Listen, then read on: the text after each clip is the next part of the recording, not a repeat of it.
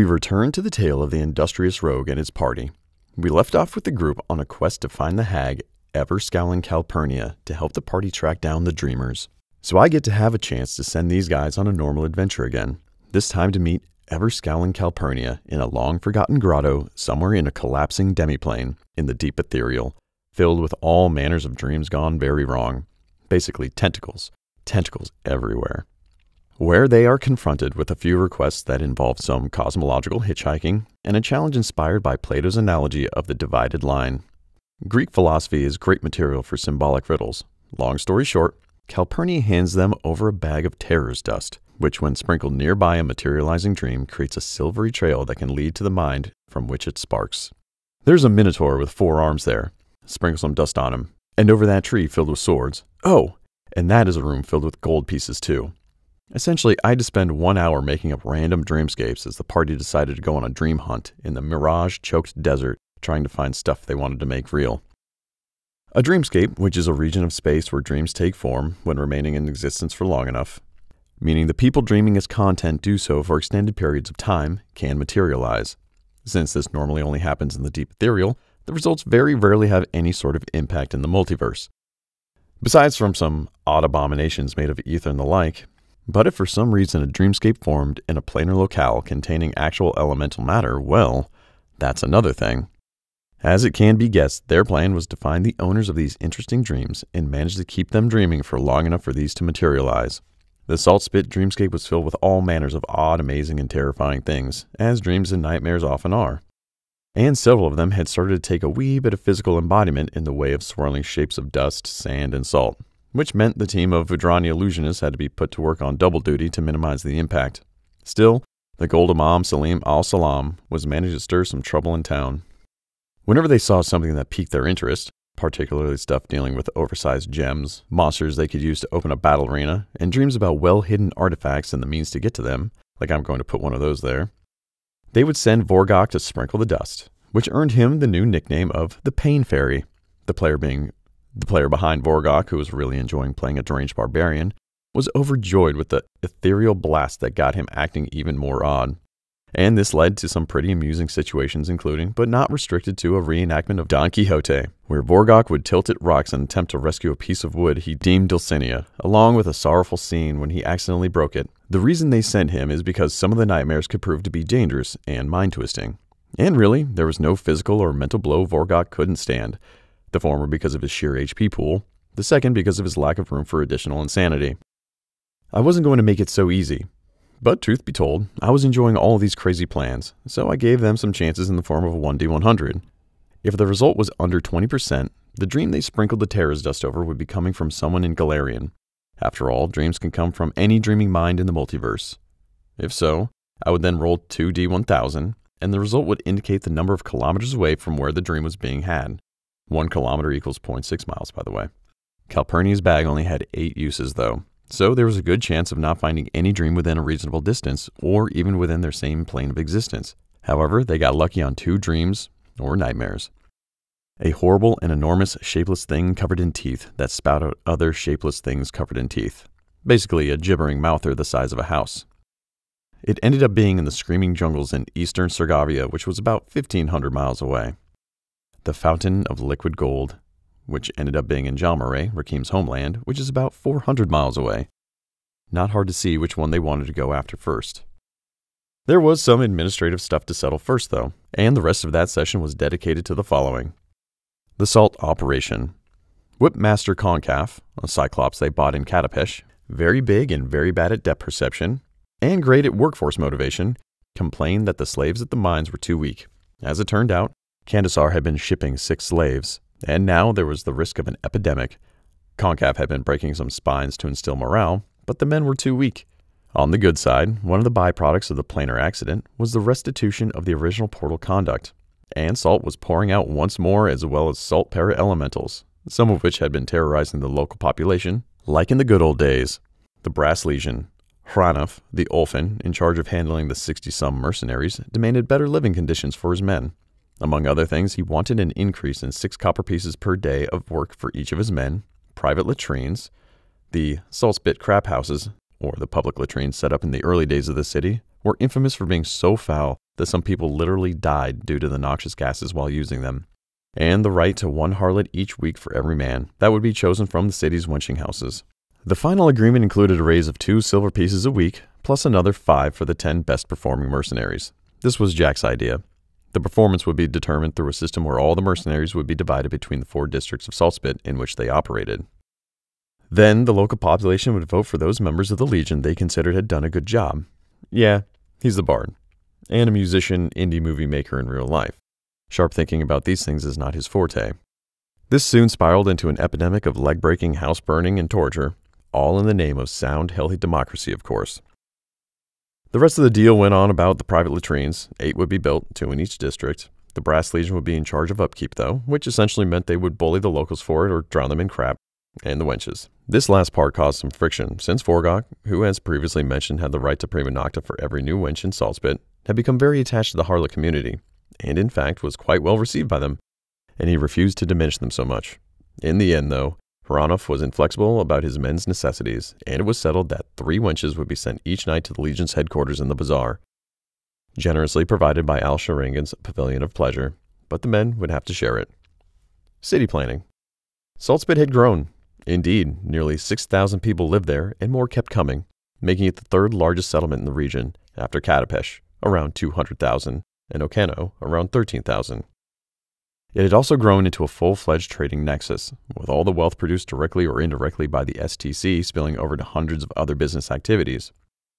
With caravans going in and out nonstop carrying all sorts of goods, from Qadiran silk to Thuvian wine and Nexian glowstones and black powder from Alkenstar, slaves from Katapesh, and even the occasional load of tobacco from the unknown reaches of southern Garund. All this prosperity was starting to cause more than one headache. Magistrate Kamal al Kafesh had recently been dispatched from Katapesh to sort out the urban status of Saltspit. Was it a city? Did it recognize the primacy of the pact masters and pact brokers? Did it abide by the highly flexible Katapeshi legal system? Was trade being protected? Who handled crime? Where were the criminals being sent? And a long list of other things.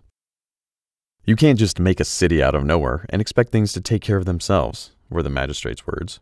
Katapesh was demanding proper recognition of the authority, and Alkafesh had been instructed to assist the local de facto governing body, the Saltspit Trading Company, in the proper organization of the city. Districts have to be regulated, main streets named, public buildings designated. Far more concerned with a fountain that sprang liquid gold, Hassan basically waved him off, saying, Magistrate, you can take as much gold as the strongest man you can find can carry from our vaults in exchange for taking care of this whole situation. Hold on, hold on, interrupted Rakim. This is important. Saltspit is our center of operations. We can't just hand wave its administration. What we need is a city council. Eventually, after some talking, the party agreed to Rakim's idea. They would form a city council drawn from the people they could trust, which would be given the responsibility of managing the day to day aspects of Saltspit. In the end, they decided to summon Al Sharingan, the local kingpin, to be in charge of all things commercial. Nidaros, priest from the Church of Desna that was a good friend of the party, especially after they saved him from a cult of man-eaters when they were level 2. Abdul Bel Nabir, one of Prince Osman's most trusted advisors to take on the adjudication of law. Lendi's Musburger, the shrewd but quiet clever manager of the local branch of Andoran Trading Company Hudsucker, dedicated to adventuring gear and the main provider of rope and caltrops for the party since level 1. The party met him during one of their first real jobs. They started off as slaves after being captured by Knowles at the start of the campaign when their vessel shipwrecked. He would oversee urban planning, and Horolf, the leader of the Brass Legion, to handle leg breaking. With all those things taken care of, they set up to travel to Jalmeray in order to meet the owner of the dream. Although the figment in question had disappeared, quite awful Giselda, a dream consultant provided by the Night Hags, explained that once a dream has been created in a mind, it can be recalled. So, if they managed to find the person who sprang it, she could assist them in reproducing it. At that point, Jack wondered why couldn't they just dream cool stuff by themselves? To which Valinar replied, Because we would have to be kept asleep for Savannah knows how long. Although, thinking about it, you could be a great candidate for that. There was also the issue that only a specific dreamscape had been brought over into Golarion, and the chances of their dreams existing in that particular region were next to none. Since the party was going to visit Jalmeray, they traveled back to Katapesh to hire a ship, and took the chance to visit the prince, the emir, and other friends. At this point, Rakim was informed that his beloved Falbala, the elven priestess he had become close with, was pregnant. So he decided that from now on she would be within sight whenever possible. So she would go with them to Jalmeray, which was also Rakim's homeland, and he wanted her to see it.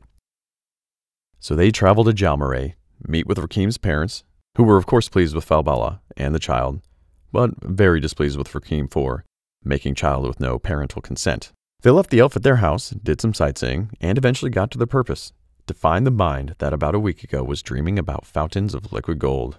The silvery dust trail was still visible, and it led into one of the more populated areas of Padaskar, the second largest city in the island nation. So they scout around trying to follow the silver dust trail, which didn't really make it easy for them either, as it flew over buildings, and finally saw it entering through a window.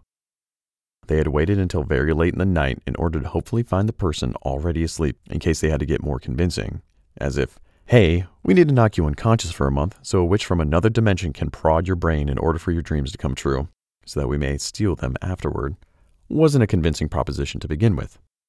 Level 9 by then, Hassan had little trouble opening the locks and getting inside without making any noise, and he found the dreaming person, a thin, sick child about eight years old with a lame leg, sleeping atop a badly crafted box with some hay sprinkled on it to simulate a bed. The poor kid breathed heavily from the fever, and his forehead was covered in sweat. Great, this makes it way easier. So Hassan takes the chloroform he bought from Katapeshi merchants and puts it over the kid's mouth to make sure he won't wake up, ties him up inside a blanket, and runs out. No, no way I'm going to agree with that. Rakim wasn't too pleased to see the adorable thing Hassan had just kidnapped. It's a kid. So, when did you grow a conscience? Was it when we began incarcerating people for getting a bad haircut so they could work in our salt mines? Or when we sent an aboleth insanity fishing into the wrong side of reality so we could fill them with nightmares that would make you pee through your ears? said Hassan. Valinar was smiling. No, I know what's really going on. He walked closer. This reminds him of the child his very own elven mistress is carrying as we speak, doesn't it? The priest had been waiting a long time to take advantage of the romance. He cannot stop thinking this could be his, that little brown, pointy eared half breed, the son of an incontinent excuse for a monk and a priestess with no control of her loins, a harlot in the guise of a saint. He's interrupted by Rakim, who goes all a flurry of blows on him. Shock! Conflict! Rakim decides that he's not taking part of this anymore and goes away. Jack, who had been getting doubts about himself, eventually followed suit. Should we stop him? asks Hassan. All bruised, Valinar stands up. No need to. In fact, this might be exactly what I needed. The player asked me if during the short fight he got any blood from Rakim on him, to which I answer positively. And he always has sharp blades under his scarf that could have cut him up a bit. That's his favorite priest weapon, by the way, a bladed scarf. Don't ask me. Valinar grinned like he had never grinned before. Tell me, Hassan, how much are rubies worth these days? To understand Valinar's reference, I need to momentarily take you guys back to the early stages of the campaign, when the party was around level 2 or 3. The beginning of this story. When they went back to the Assyrian temple with the Salt Rift. Because it has a bit of a complicated origin, it is customary for my players to work with me in private when they want to get involved in conspiracies, odd plans, and the like. This particular subplot had been devised in conjunction with Valinar's player, and eventually with Rakim's player too. We don't screw over other characters' story without express approval. The best part of these things are the expressions on the other players' faces when it's all revealed, usually leading to a series of revelations of all the hidden stuff people had going on. This whole story is one great example of all that. Hassan's player keeps me constantly posted with ideas and long term plans, which are not always revealed properly to the rest of the party. Around those days, the party was involved in the investigation of a series of ugly murders in which the victims were all boiled down and stripped of their flesh. Initially, it all seemed to be tied to a bunch of crazy cannibals that worshipped Urgathoa, Golarion's goddess of undeath, gluttony, and disease, living beneath the sewers of Katapesh, the same guys who had kidnapped Nidaros, the half-eaten fellow mentioned before that was now part of the Saltspit City Council. At the climax of that particular plot, the party managed to escape the cultists through an underground river, but Valinar got left behind because he was checking some relics in the inner quarters of the cultist high priest. Long story short, Valinar was almost eaten alive, but through some very clever ideas and role playing, this player has quite the knack for solving almost every possible scenario through diplomacy, blackmailing, and not healing his party. I honestly can't remember the last time he picked up a weapon in D&D or a Pathfinder campaign. He managed to talk his way out of it, and the High Priest eventually offered him a deal. His life, and more importantly, immortal soul, in exchange for a host. Now, the explanation the high priest gave to Valinar was very cryptic and confusing, but it gave him just enough information to be able to do additional research on his own. As it turned out, none of that had anything to do with Urgathoa. The cult was merely a tool for a more obscure and convoluted plot involving none other than the denizens of Leng, creatures hailing from a mysterious and terrifying realm that in scant volumes mention it seems to be suggested as the last remnant of a long collapsed reality, prior even to the current multiverse. The denizens of Leng do have a presence in Golarion, and several of them exist hidden among the courts of the mighty, influencing the course of history with goals no one understands. They are also not strangers in Katapesh, where they dabble in selective slave trade. For some reason, they seem highly interested in specific kinds of people, which they trade for absurdly valuable rubies, or at least that's what everyone thinks are rubies.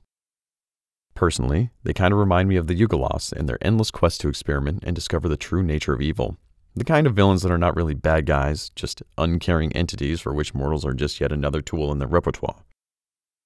In secret and without the knowledge of the rest of the party, Valinar started meeting with envoys from the High Priest, random individuals whose minds had been blanked out and honestly seemed more like puppets made of flesh and bone. And slowly he began understanding what was going on. The High Priest wasn't working for anyone in particular, but for himself. As it happens, the denizens of Leng are beings whose bodies are made out of malleable, fleshy substance they can control at will, which is one of the reasons they are really ugly when relaxed. But existing too long away from Leng, or regions of the multiverse that are somehow connected to Leng, has detrimental effects on said bodies. So the High Priest, trapped in Golarion since time immemorial, had been working on a means to fix that shortcoming. So far, stealing the flesh of certain individuals he had previously identified as useful had helped as a patch measure, but he was getting close to a point where he could simply no longer sustain his physical form, so he needed a host. To this end, the high priest had been dabbling in the creation of a perfect host capable of sustaining the twisted essence of a denizen of Leng, one that would be able to sustain itself in Golarion without decomposing into sticky black jelly, something no other denizen had been able to manage so far. Valinar found out during his investigations that there were many other denizens interested in such a solution, but they were all too fragmented to work together. For this host to work out, however, it would have to be conceived through a natural process. The high priest had been trying to implant the host into pregnant women kidnapped from the city above, but it all ended up horribly. But now there was Valinar.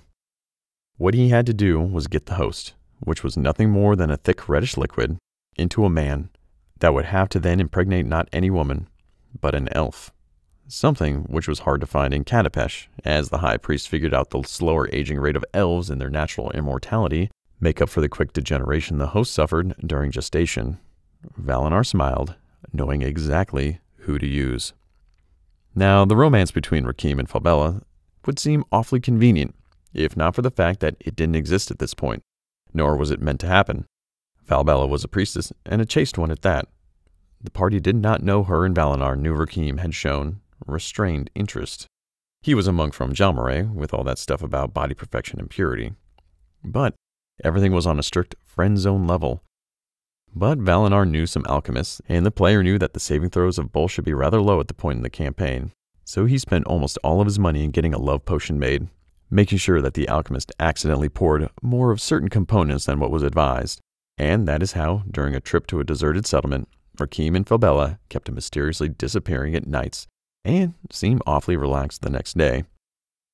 With the two bastions of purity now shaking like there was no tomorrow, getting the host into Rakim's was child's play. Just add some raspberry and bam, you have the iconic healing potion, if a bit thicker than one would expect. Then, Valinar, with the enormous patience that characterizes the player behind him, waited for things to take on to their natural course. He knew it would take very long, Adventures, journeys, and levels would come and go before getting any result. But if everything went according to plan, which, as I hope you would have presumed by now, wasn't exactly in the same line as the High Priests, it would be well worth the wait. Let's go back to where we left off. Valinar had been quite glad when they got the news about Falbella being pregnant. Even though elven pregnancies are supposed to last about two years, this wasn't problematic. The high priest had informed him that the host would develop at an incredibly rapid rate, and truth is, Falbella was quite swollen. She was six months into pregnancy and had been abnormally exhausted, which was also to be expected. In fact, the host should only require three to four months of gestation, after which it would remain there, living off the mother's vital energies until she could go no longer. This is why elves were such a good idea. At this point in the story, he trusted Hassan's unending thirst for money enough that he felt comfortable with sharing his plan. He needed Falbella's offspring in order to use it as a bargaining chip with the other denizens of Leng he had tracked throughout all of his time. He knew of at least six in Katapesh and many more that occasionally visited the city. There was, in fact, an entire slave trading company controlled by three of them. He had no intention of handing it over to the High Priest, whose agents had long become just a footnote now that he was considerably more powerful and resourceful than he was at level 3. That is why the trip to Jalmeray had to be such a boon, and why Valenar had been so mindful of reminding Rakim that he would do whatever he could as a priest to keep her comfortable and safe, as it would allow him to carry on with the extraction without the risk of the high priest meddling. Hassan pondered. It was an ugly business. Sure, they had been using people as nightmare farms, forced good Katapeshi citizens into a life of slavery at the salt mines, and now they even kidnapped a kid because they needed the dreams he had. But now they were talking about Rakim's and Falbella's kid, the former a companion of adventures, and the latter being the priestess that helped them survive and escape the authorities. Maybe it was too much. The denizens of Leng carry with them otherworldly rubies that go beyond any kind of gem you can imagine. Not even the Emir and his elemental associates could produce something like them. Valenar was, of course, leaving out the part about the enormous influence said denizens had over many nations of Golarion. He wasn't after money. He wanted real power. Don't think of the children, think of the rubies. But Hassan was still thinking. What Valenar didn't know is that Hassan was now not really thinking about the moral consequences. He was wondering if they weren't going to waste a unique opportunity. No, we are not going to give it out that easily. There is an opportunity here, said Hassan, coming out of his thoughts. Valenar was rather confused. What? Of course there is. We get the baby out, we hide it well, we contact some denizens, and we offer them the deal, giving it to the one who offers the most. My friend, what have we learned so far? That Hassan knows how to make money out of everything. He tapped his nose. And when Hassan finds a source of money, he makes sure that more will come after. Let me explain. So there, in the warm, starry night of Jalmeray, in a beautiful garden in which plants grew in impossible manners and a small waterfall ran upward, he told him what he was thinking about. Mass production of hosts, in which Valenar had explained about Falbella being the proper way to get these hosts working was correct. Then they were going to replicate the process. Why auction one baby among several denizens, who could probably kill them and take it, when they could be making one for each of them? That's a lot more rubies, Plus, avoiding enemies from a dimension severed from a dead universe within the fathoms of time could be well seen as a positive externality of the transaction. Valenar was both confused and amazed by Hassan's plan. He saw the logic and he liked it, just that he had never thought of taking it to the next level. Things would get interesting now. Indeed, they would. So Valenar and Hassan had decided what to do they would kidnap Falbella in order to steal her child and hopefully find a way to replicate the process. Vorgok was there too, but it was hard to tell if he was even aware of what was going on, as he kept talking to imaginary friends and staring in awe at a magnificent woolly mammoth that wasn't even there. I'm not sure if I mentioned it, but back when the party was going along with the original plot, they had to deal with a band of ritual assassins that kept trying to dispose of them or frame them with murders. The assassins had been hired by one of the many crazy doomsday cults that were fighting over a very important artifact the players had, and attempted to sway the party into their side by argument, force, or highly volatile narcotics. They were the original cause of the party leaving Katapesh early on.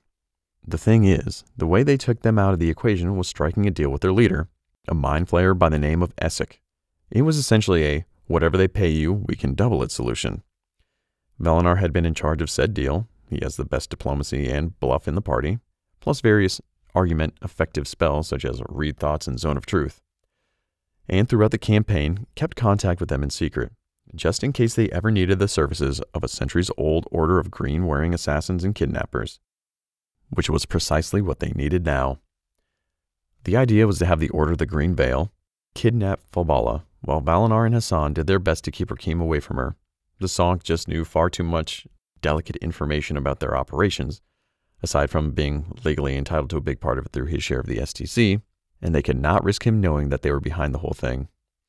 So they set up a situation involving an escaped genie from one of the local training schools in order to keep the party stuck in Jalmeray for about a week, enough to have the Green agents kidnap Falbella from Rakim's parents' house. They also had them take the kid in order to pacify the Sonk. Hassan simulated having felt second thoughts and leaving the kid behind when Rakim went there to check. They had to steal another kid from another house with similar characteristics, put him to sleep with magic, and use disguise to make it seem like he was the same. Since Rakim had only seen him for a few moments, it worked. As you can imagine, there was much ruckus when Rakim found out that the Green Veil struck back, and this time they stole the elf carrying Rakim Jr., as he was never fully aware of how the assassins had been dealt with in the past. In fact, no one knew, except for Hassan, to whom Valenar revealed the truth when they concocted the plan a week ago. He took it as a personal vendetta, shaking an angry fist to the sky and all that, and pressed to quickly abandon everything they were doing and head back to Katapesh, where the Green Veil's base of operations was. Once there, he stormed every single place they had previously discovered to be somehow tied to the organization, trashing several stores and smokehouses. The rest of the party followed suit, but Hassan and Valenar knew they wouldn't find her, as they had given specific orders to Essek for Falbala and the kid to be sent to Saltspit and hidden until they arrived. However, things quickly got complicated, in a few words. Rakim found out where she was by using the same means they had previously used to track down Essek. Crystal spheres through which the assassins communicated. Yes, yes, they also made a lot of Sauron jokes the first time they found it. They got to Saltspit, trashed Al Sharangan's safe house, which had been used by the assassins to hide the hostages, tortured everything that could be tortured to know what happened, earning some points toward an alignment shift, but not quite there yet since it was balanced out by the ultimate goal. Eventually found out what was going on, choked Hassan to death, as in quite dead, not just below zero, and demolished his faith with his bare hands before getting knocked unconscious by Vorgok, who had a very hazy general picture of what was going on. He was also becoming less and less solid as time progressed, unsure of what was real and what wasn't. Through sheer expenditure of money and cashing in favors with big shots in Katapesh, the party had Hassan revived. Resurrection is a very, very hard and complicated thing to do in my campaigns, but they were very, very rich as well, so it was within reach. One of Hassan's eyes was destroyed during the fight, however, so he had to replace it with another one made out of pure gold. As for Rakim, well, that would come. For now, their longtime adventuring companion would remain jailed deep within the STC headquarters, pumped with all manners of alchemical concoctions to keep him weak and in a semi conscious state. Since they were in Katapesh for Hassan's resurrection, they might as well get some business going. Rather than breaking into madness fits, Hassan sent an envoy to Saltspit to get Rakim's signature, which he used to forge a will in which Rakim, who allegedly died from a slow, painful death caused by a severe case of choleric fever he caught in Jalmeray, designated his shares of the STC as preferential for society withholders, which essentially meant that the current living owners of the STC, Valinar, Hassan, Vorgok, Jack, the Prince, Honest Abdul, and a host of other minor shareholders who had been joining the ranks of the company as time went by, had the right to buy them and if none wished, they would then be sent to an auction house to be sold to the highest bidder. By offering money to the rest of the owners, Hassan bought Rakim shares for himself and became the leading stockholder. Jack wanted to protest, but he had been threatened by the rogue after he tried to defend Rakim, and he knew they could dispose of him at any moment. Valenar had no quibbles, since being the leading stockholder meant that he would have to dedicate more time to directing the company, and he had other things to worry about. And for Vorgok, all these earthly things meant little. I saw no light at the end of the tunnel, Valenar, Hassan said after he was revived. But I didn't see fire either. I take that as simply not being my moment. Let's get back to business. While Valenar took care of contacting denizens of Leng from different guards of Garund, Hassan went to work on the technical aspects of the new business venture. So, first there was the thing with the Golden Fountain. Quite awful Giselda had been tasked with setting up all that was necessary to send the kid into a perpetual dreaming state in a small tower they had built north of Saltspit for that purpose.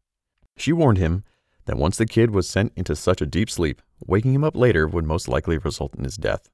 Just get me that golden fountain, which was all Hassan replied before leaving.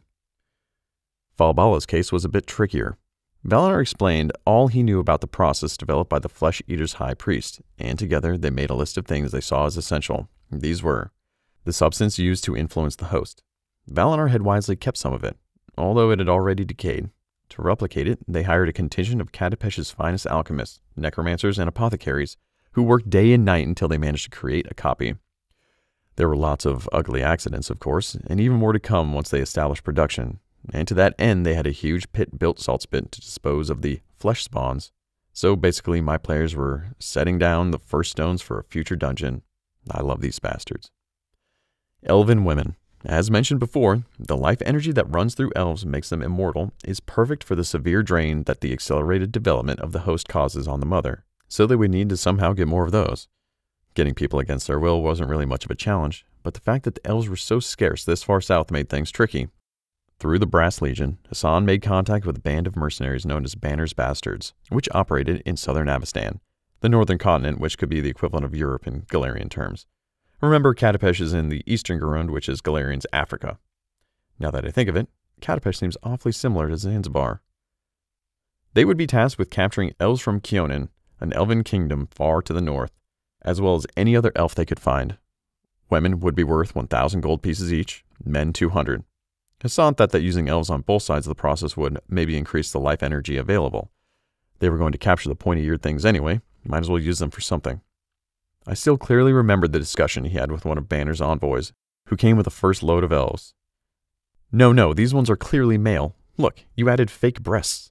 And did you check between their legs? What, nothing? Let me see. These won't do. I'm not paying for male elves made to look like female elves. Take these back and tell Banner that I'm not going to get scammed this easily. The nursery. Beyond the fact that these babies are pretty ugly, the denizens of Leng are creatures whose bodies are made out of malleable flesh, which they can control with their minds, are unusually tall, with elongated extremities and mouths that look like anemones. Now mix that with a human and an elf. Yeah, not pretty at all. But they still had to be kept alive. Falballa's offspring showed that development occurred very fast. In the span of two months, it had grown from what the hell is that thing to what the hell is that thing. And their dietary needs quickly went from what one would expect from a human or an elf baby into not needing food at all. However, since the high priest had designed these as blank hosts, they also became rather unsettling, since they had no mind of their own, being essentially large vegetables which had spontaneous bursts of reactive behavior to basic needs. So a nursery was built to accommodate these, with female slaves brought from Canisar to take care of the feeding and caring, and those who went nuts from the situation were shipped to the nightmare bunkhouses. Everything was functioning like clockwork. In the meanwhile, in total, it took about five months of in game time, even though it spanned one and a half session. Quite awful Giselda had successfully managed to materialize the Vudrani kid's dreams, and an impressive dreamscape in the outskirts of Saltspit now displayed a fountain from which liquid gold sprang. It was extremely hot, however, and involved a series of other issues, since when dreams become material, they also try to conform to the laws of nature as much as possible. But the fact was, the STC now controlled the only liquid gold fountain in the world. Salt, nightmares, Malformed extra dimensional babies. Boy, liquid gold. Hassan could barely contain his own happiness. We discussed it for a while, and ultimately came to the agreement that the fountain poured gold at a rate equal to that of a fountain that used to be in our school, which we had to measure back in the 90s as part of a physics assignment. 4 cubic meters per hour, or 66 liters per minute, and at a temperature of 1000 degrees Celsius, or about 1900 degrees Fahrenheit, at a liquid density of 17 grams per centimeters cubed. And taking into consideration that one pound of gold is worth 50 gold pieces in Pathfinder, that resulted in their wallets engrossing 33,660 gold per hour, which is approximately the equivalent wealth per level of an 8th level character, or a bit less than that of a 20th level character per day. At this point, I distinctly remember Jack's reaction. Isn't that too much money? Only to be slapped by Hassan. No, it's not. As you can imagine, realizing how ridiculously wealthy they were getting by the fountain alone kind of relegated the other venues to a secondary spot, because even all the other businesses combined could not produce the fabulous amount of money that the fountain spewed like it was going out of style. That is not to say they were abandoned. Valinar certainly had more important things in mind than just hard cash, but instead made the protection, sustenance, and monetization of the fountain all the more important. Plans were abounding, and the numbers started to get ludicrous. First, there was a monetization issue. Sure, it was a fountain of gold, but it wasn't precisely a matter of just reaching in and paying out. Word was spreading across Saltspit that the STC was hiring construction workers to erect a new smelting facility, as gold had supposedly been found while digging a new tunnel. They got some architects and engineers from Katapesh to come and design the thing, and a site was selected north of the city. The plan was to build the facility right on top of the fountain, but the issue of the dreams materializing in the area made it impossible. Instead, a permanent portal was created to carry the liquid gold from the fountain and into the mining plant, all kept to a very tight circle to avoid news of the fountain existing. Of course, a few weeks later, Everyone and their mothers had received word of the findings, and Saltspit began experiencing a gold rush that spiked both population growth and bar fight rates. Hooker intakes alone were so high that Vorgok himself was unable to keep up. Soon, every ravine, crack in the ground, water puddle, and tiny creek was crawling with gold diggers, from Varisia to Sargava, which stretched Saltspit's resources and capacity to a breaking point. On the good side, however, it served as a smokescreen for what was actually going on, and the increased influx of inhabitants gave some extra benefits in terms of slaves for the nightmare bunkhouses. I told the party the facility would take about three months to get built to a point of proper operation, and we agreed to have their earnings slowly escalate as it became functional, starting from zero and reaching full capacity of about 800,000 gold per day in 90 days.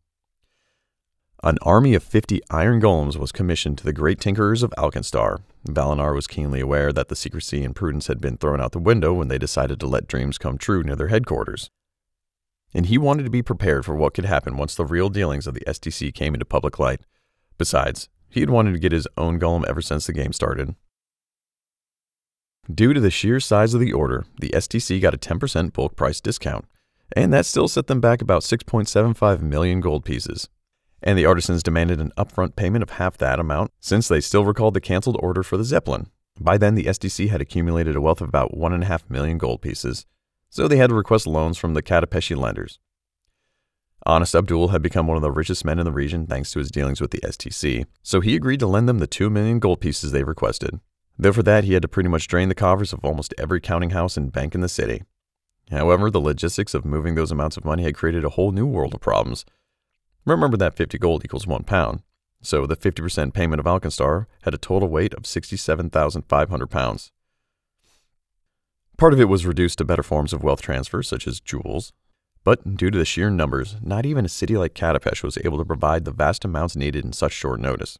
And Bin Fishar's company was simply not able to meet the demand without raising suspicion on his extra dimensional dealings. Overall, I allowed them to reduce the total weight by about 30%, However, the process caused a massive market dump in Katapesh, devaluing the gold standard and making the prices of gems, spices, and other traditional wealth commodities explode.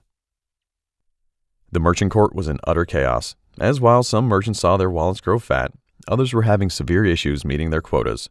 Luxury exports, the lifeblood of Katapesh, grinded to a halt, causing whole fleets to stand idle in the ports, which in turn flooded the city with angry drunken sailors with nothing to do and little cash to spend. With the captains refusing to sail with their holds empty, the sea trading lanes began to collapse, both because the piers were choked with moored vessels, and because a big part of it depended on those same ships that exported the goods or returning with much needed things such as wood, food, and slaves.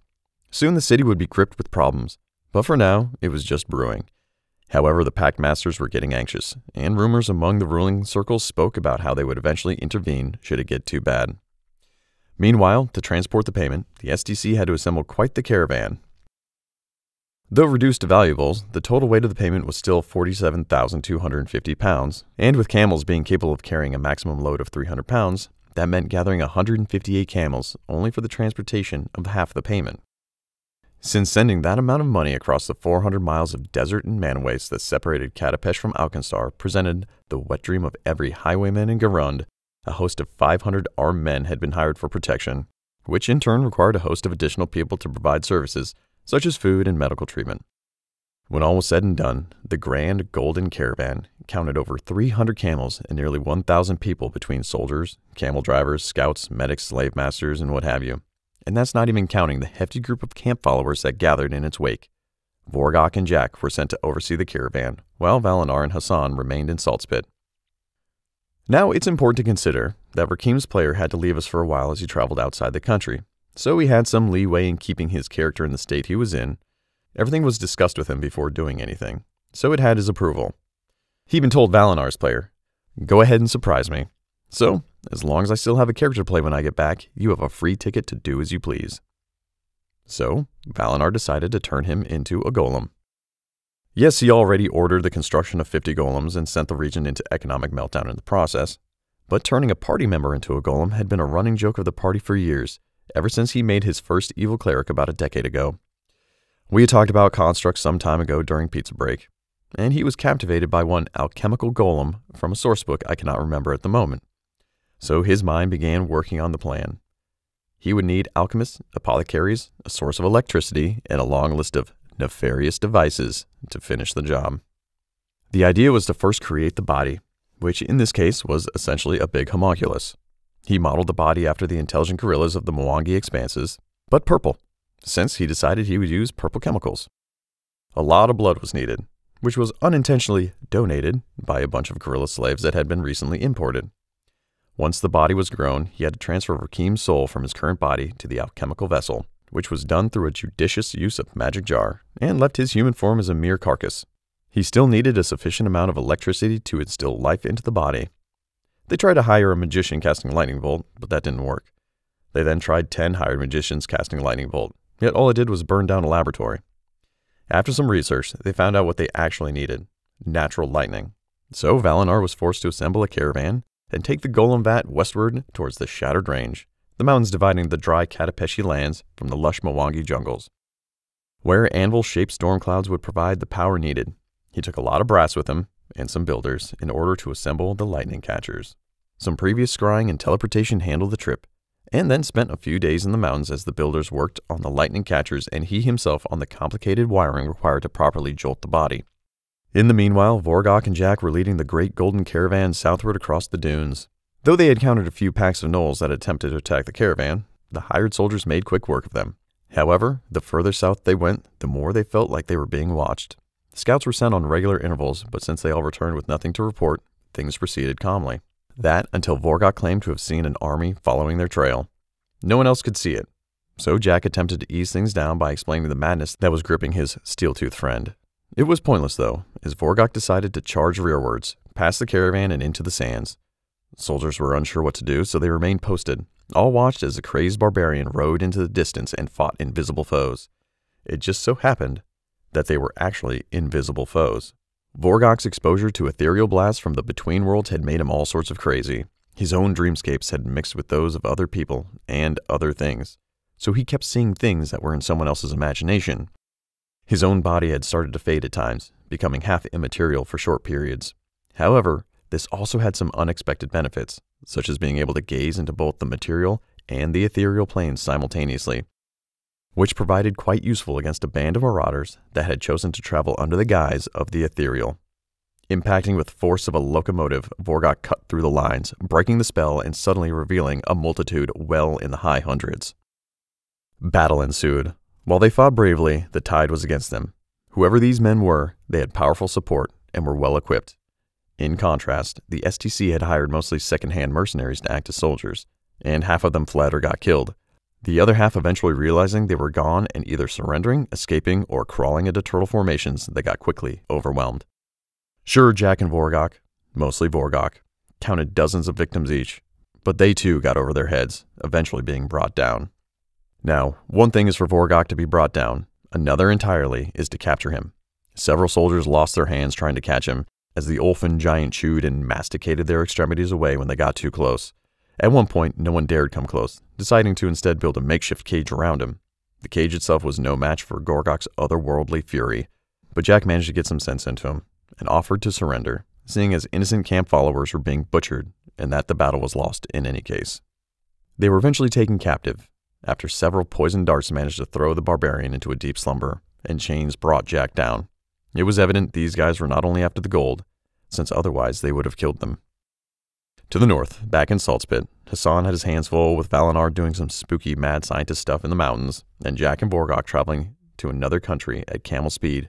The rogue was left to handle all the loose ends, which had started to pile up. The plague.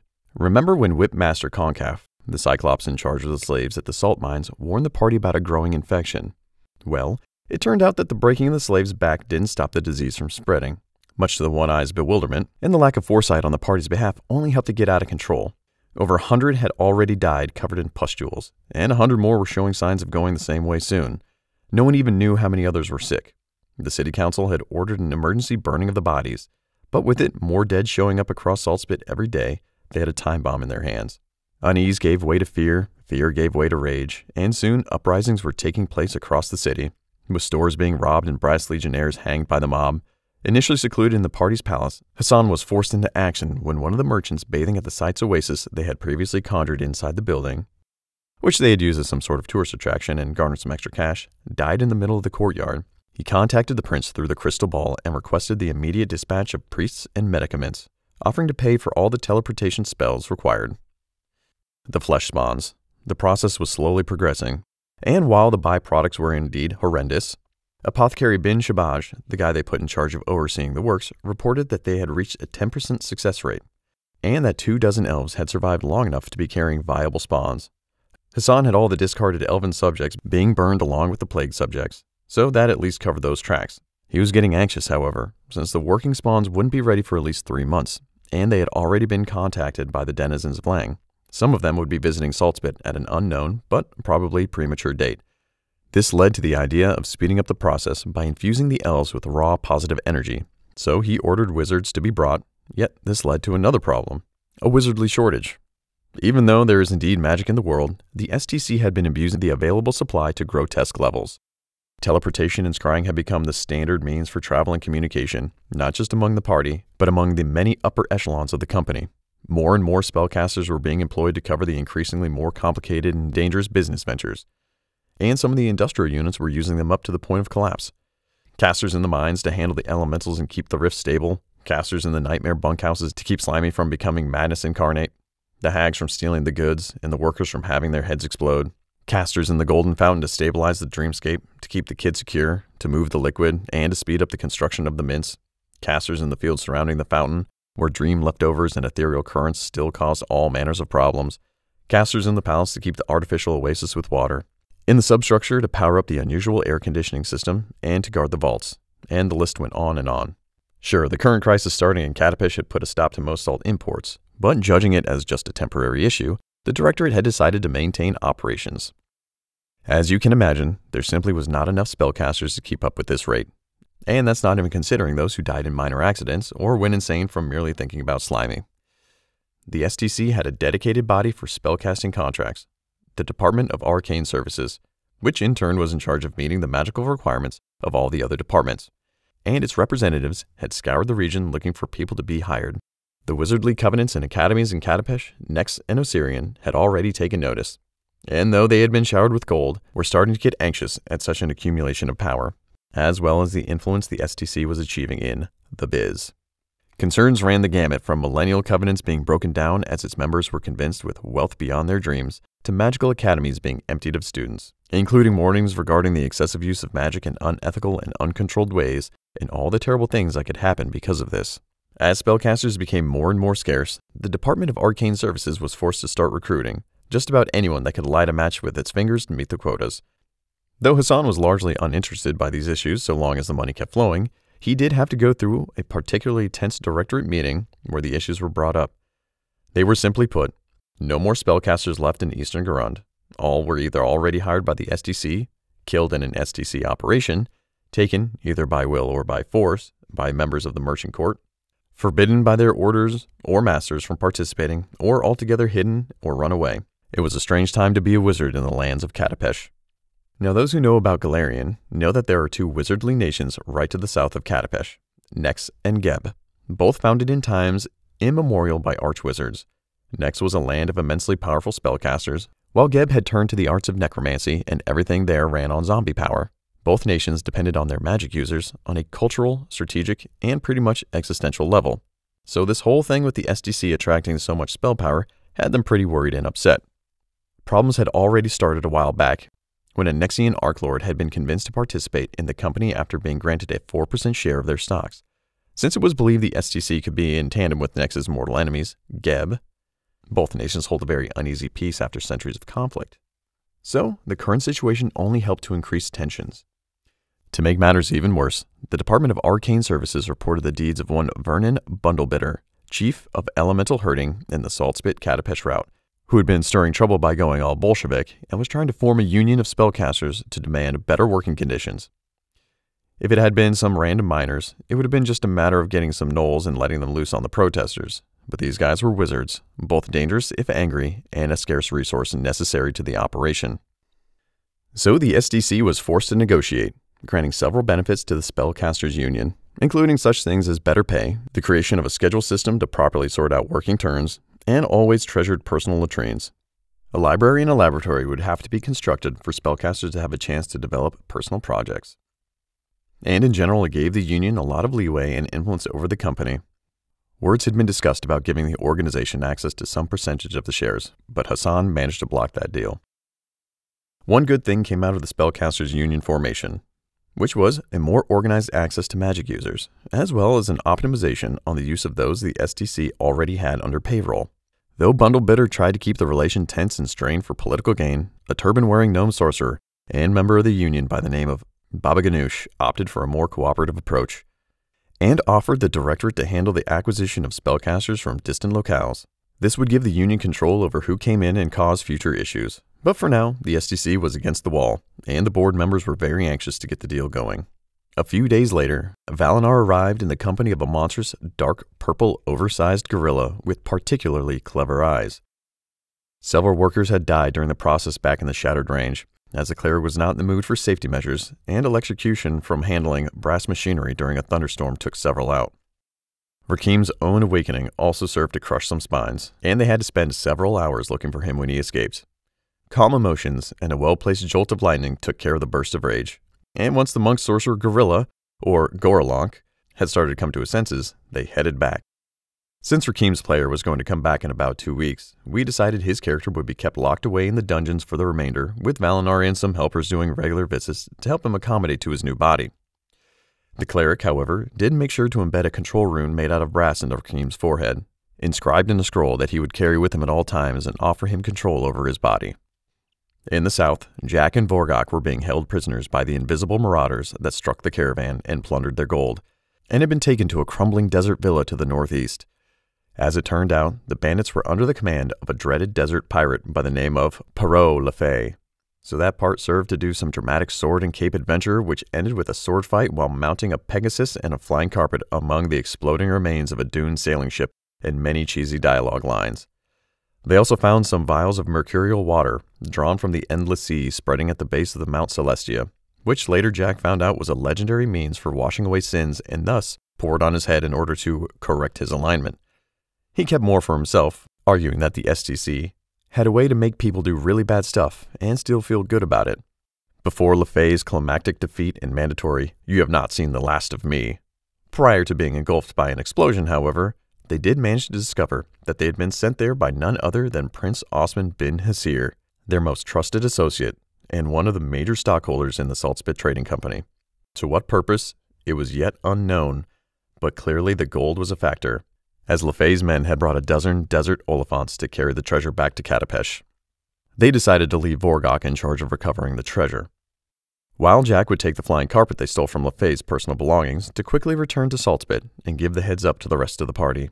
In theory, at least, it was a good idea. Just that neither of them properly factored Vorgok into the equation. So Jack gets back to Saltspit within a day, giving the news to Hassan and Valinar. Jack wanted to confront the prince via crystal ball, but Valinar advised prudence, reminding everyone that the prince still held valuable assets belonging to the company back in Katapesh, and that it would be best to pay him a personal visit, with the assurance that Vorgok was in control of the treasure. They took some days to tie up the aforementioned issues, before taking a portal to Katapesh. As it turned out, though, Vorgok had decided to take the initiative by mounting an attack on the prince's palace with an Oliphant stampede. The logistics of getting Oliphants to Katapesh were not that hard, considering the creatures were trained to go back and forth between the city and the spice farms of Selshasam to the south. The problem was getting them through the city gates, an issue which Vorgok solved by tying them together in a two per row formation with enormously thick ropes taken from the nearby piers and going apeshit behind them until they panicked and began charging forward, steamrolling through the city streets.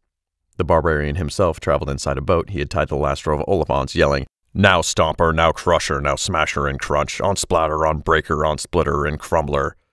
By the time the rest of the party had arrived, Vorgok's Oliphant assault was already cutting through the city, across Gold and Peacock Square, and into the prince's well guarded, yet not Oliphant resistant courtyard. A massive ground shaking stomp, which seemed to almost crumble the towering palace, brought everyone to their knees as 12 ridiculously oversized pachyderms loaded with gold smashed against the gates, crushed most of the palace guards, and broke everything there that could be broken, and then some. It's like some evil version of the pilgrimage of Mansa Musa to Mecca, which also involved a lot of salt and incidentally devalued gold in Egypt to the point that it led to a Middle East wide depression Only instead of piety and charity, it's being made possible by murder, slavery, backstabbing, and deals with extra dimensional entities of horror. While everyone had to commend Vorgok for his hands on approach, the whole thing really cut down the options regarding finding a solution. In a rather impulsive move, the party decided to kidnap the prince while the barbarian pretty much disintegrated the abode and everyone in it and headed back to Saltspit. Impulsive, I say, because amidst all the trouble, screaming, and rumble, they completely forgot that they had left behind millions of gold pieces. Sure, the founder could give them back in a week since the thing was fully operational, but that was still two and a half months away. And after all that happened, it seemed they would be needing that golem army rather soon. On the sidelines, dumping all that gold back into Katapesh was the last strain on its already troubled economy. Last time they spent ludicrous amounts of money, causing severe financial stress in the city as prices went bananas in all directions and clogging the trade networks. But in a way, the effect was constrained by the fact that most of the money ended up in a rather small circle of merchants, and given time, it would have fixed itself. This time, however, over 3 million pieces of gold had been laid out all across the city, falling into the hands of anyone who happened to be there and managed to not get crushed by the tidal wave of Oliphants. This meant the gold would strike pretty much on all levels of the economy as the people ran to spend the money on just about anything. Within a matter of days, the price of the most basic goods skyrocketed, both because of the inflated currency mass and because the buyers themselves started gobbling up products in order to sell them later, as they started perceiving the continuous price increases. This created a widespread speculative bubble on almost every imaginable product, from hand baskets to real estate, which in the ill regulated city of Katapesh could burst at any moment. Not to mention, the people were getting furious as their newly found riches suddenly devalued by a factor of 100. If there was any time for the pactmasters would be moved to intervene, that time was now. This concludes part two of the amazing story of the industrious rogue and his party.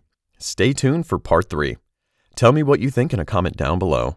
Before we take our leave, don't forget to subscribe to our channel, All Things D&D. Stay tuned for more amazing Dungeons & Dragons content every week.